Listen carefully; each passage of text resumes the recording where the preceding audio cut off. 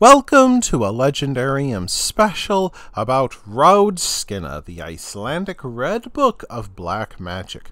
In this episode, we will learn about a very historical bishop who wrote a book of magic and a very legendary student who made for a gripping cautionary tale, even if he didn't exist. Gottskálk Nikulausson came into the world during the year 1469 in Iceland. He came from a good Christian family, steeped in service to the church. His uncle Olaf even served as the Bishop of Holar.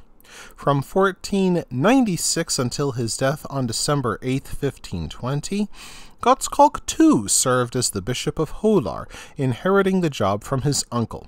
However, Gottskálk's actions could not be further Gottskálk kept a mistress named Gurdon, and begat two children by her named Odd and Gurdon. He also took a second lover named Jonsdottir, with whom he had a daughter named Kristen. Historical records describe him as manipulative, ambitious, and cruel. More interested in wealth and power than his faith, he started to explore the dark knowledge of ancient witchcraft. Witchcraft helped to bring reason to an unreasonable world and predicted the unpredictable, in effect, science for pre scientific societies. For centuries, Icelanders used magic spells for both practical everyday purposes and more nefarious goals. In time, magic used for the darkest purposes became Gottskálk's consuming obsession. This led him to write a book over 30 years that became known as Raudskinna. Also called the Book of Power, Raudskinna took its name from a red cover engraved in gold lettered runes. The main goal of the book involved creating and mastering such powerful magic as to have control of Satan and then the world.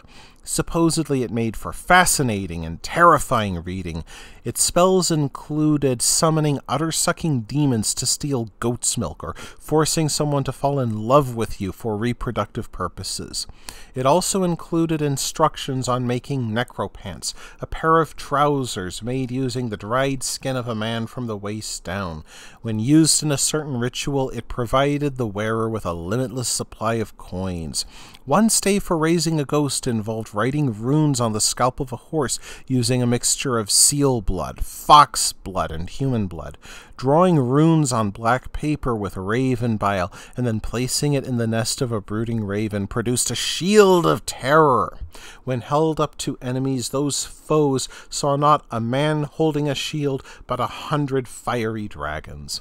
By the time of his death, Gottskálk became known as a dangerous and powerful man who knew black magic better than any person who lived in Iceland at the time.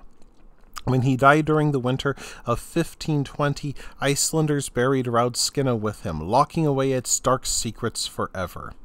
Two centuries after the death of Gottskálk, a man named Loftur arrived at the cathedral school in Holar, where Gottskálk had been a bishop.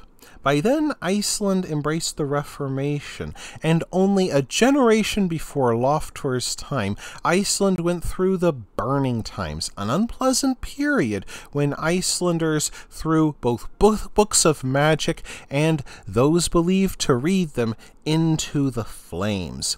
And it is possible the story of Loftur was told not as a historical record, but as a warning to those who dared to dabble in black magic. Indeed, people still feared the awesome power supposedly held by Gottskálk and within Gottskálk's book. When Loftur mastered a book called Graskinna, or Grayskin, also filled with magic spells, Loftur knew enough to make mischief, but he soon grew bored with this and began seeking the same dark knowledge that attracted Gottskálk. For nine summers and nine winters, Loftur feverishly studied the black arts day and night. By the end of that time, he could recite every banned verse of every forbidden book at the library. Perhaps the cathedral school needed to improve its security. One day, when Loftur traveled home for Christmas, he decided to try out his power. He ironed the hands and feet of his chambermaid before putting her in a harness and riding her home through thin air. The ordeal drove the woman mad, and left her bedridden for the rest of her days, yet she could not speak of her torment so long as Loftur lived. One day he asked another student to help him raise all the dead bishops of Holar buried in the cathedral. When the student refused, Loftur, reasonable as always, murdered him. According to legend, Loftur then walked around the church and chanted spells to summon Gottskalk and retrieve his book, the Raudskinna. When Gottskalk did not return from the grave like a good boy, Loftur mocked Christian rites by turning the psalms into praises for the devil and shamefully confessed his good deeds. Three crowned dead bishops raised from the dead, followed by the others. Some would cover their hands to avoid looking Loftur in the face. Others would look at him but then turn away. At last, a dead man arose bearing a staff in his left hand and a red book under his right arm. He did not re- wear a crucifix on his chest, and he looked unkindly at the other dead bishops. Loftur then realized that he faced Gottskálk, who said scornfully, You chant well, my son, and better than I would have expected, but you will not get my Raudskinna. Loftur then changed the blessing and the Lord's Prayer into praises for the devil, and the church shook like a straw in the wind. A student, watching in the belfry, thought he saw Gottskálk move closer to Loftur and thrust a corner of the book towards him. Gripped with terror, that student rang the church bell, and all the bishops, including Gottskálk, fell back into the earth. According to legend, Loftur fell into such anguish that the work of nine years had been thwarted that he went mad and sailed a boat into the ocean, where a hairy black claw dragged him into the depths.